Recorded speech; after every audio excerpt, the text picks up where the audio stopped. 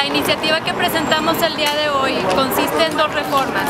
La primera a la Ley General de Educación para que dentro de, la educación se contemple como obligatorio la práctica del deporte.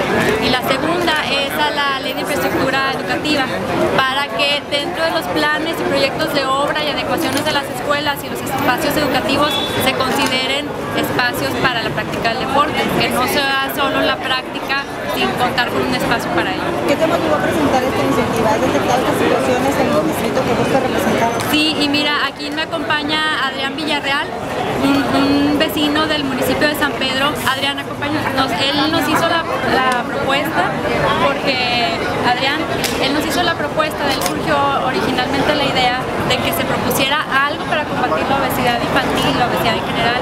Entonces estuvimos analizando la legislación y dije, muy importante medida para mejorar este tema.